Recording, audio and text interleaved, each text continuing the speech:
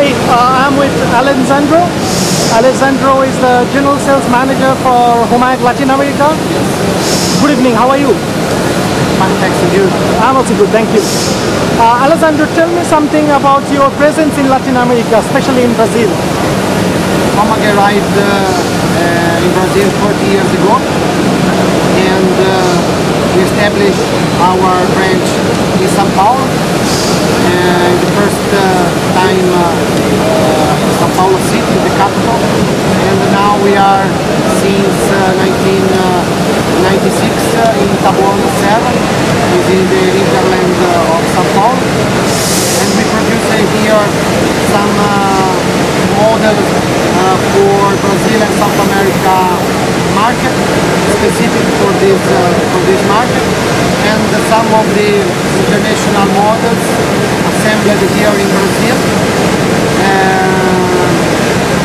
Uh, uh, our presence in South America is uh, we control all South America from from São Paulo, and uh, well we, we established uh, a very good relationship uh, with uh, with the South American and Latin market.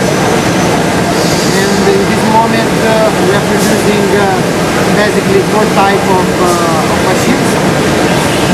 Models of edge band machines, saw machines, CNC boring machines, and now starting the last year uh, CNC router machine too.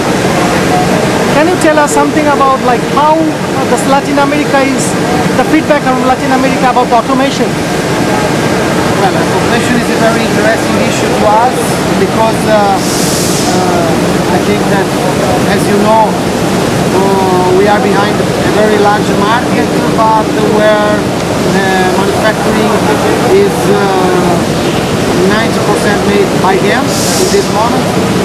And so we, we, we our uh, target in the next year is introduce uh, in large scale uh, the automation through our specific uh, branch that is uh, Ligma Tech uh, and uh, our automation department. So we consider South America at this moment a very interesting market for automation. And uh, what are the new machines you are exhibiting here this time in FIMMA? Well, this year we are presenting a new type of uh, vending machines with a round group uh, coming from Germany in uh, a 100% assembled in Brazil uh, machine and uh, the new CNC Rotas PTP 160 uh, that is assembled uh, manufactured here in Brazil and uh, for the first time.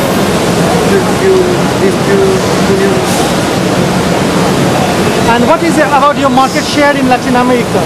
You are because you are competing with some Italian and some German companies here.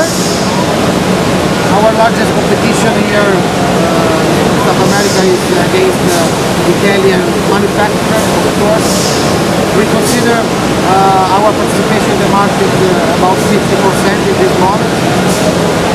The investment of uh, was not very big due to the economic situation in the last years and some uh, of, of our competitors they invest more and more but uh, for the future our target uh, in uh, three or four years is to join the same uh, share market of uh, uh, the rest of the world so to reach 30% uh, of share market within four years. Okay. Do you have any uh, production unit in Latin America? Do you have a production unit here? Yes. Can you talk about that? Our production production unit uh, was opened 38 years ago in São Paulo. Uh, at this moment we have uh, about 60 employees and our production is about uh, 20 machines per, per month. Per month. Okay. And uh, what what about what about the in-house show? Do you have a do you have an in-house show in uh, in, in, in Brazil? Yes.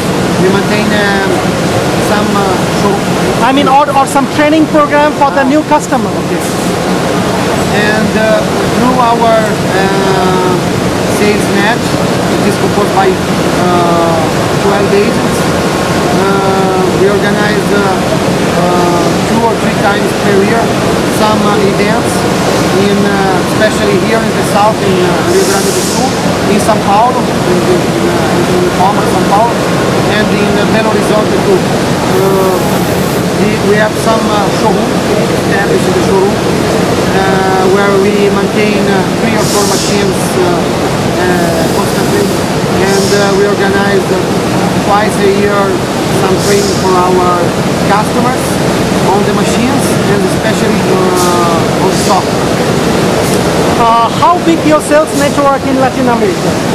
How, how big is Sales network. Do you work with dealers? No, we, we have not dealers, dealers uh, in Brazil. In Brazil, we have 12 agents that work for us uh, through uh, the branch here in Brazil, and uh, we have more six uh, to cover all uh, entire Latin America. But uh, everybody is rep- agent, representative agent, not dealer.